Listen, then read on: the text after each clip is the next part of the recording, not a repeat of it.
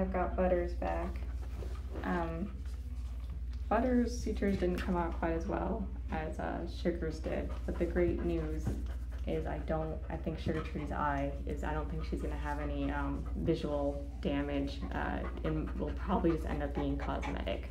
So I'm very happy about that.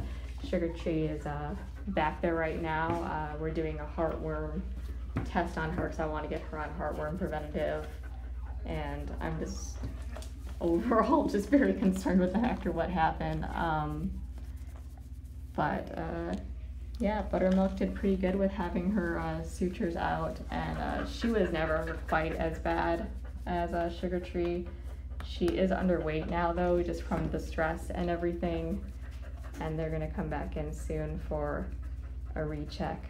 I will keep you posted. That Butters, say hi, Butters. Say thank you for the help. Say thank you for all the help.